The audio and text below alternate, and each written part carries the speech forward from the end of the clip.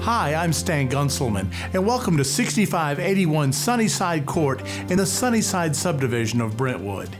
This rustic contemporary home has three full baths and is set on almost an acre and a half wooded lot. There's a renovated kitchen with tile floors, a granite island, double ovens, a walk in pantry, a planning area with lots of storage, and a built in wine rack and the Skylight Breakfast Nook has built in seating and more storage. The master bath has been renovated with a corner whirlpool, oversized shower, double vanities, and the skylights and mirrors bring the outdoors into this serene bath.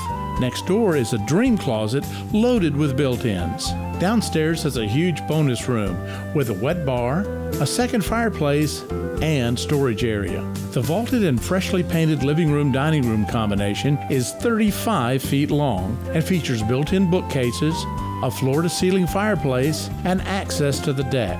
The freshly painted deck runs the length of the house and has a lighted area with an arbor, all overlooking the private wooded yard with treehouse. So if you'd like more information about this wonderful home, remember, it's time to call Stan.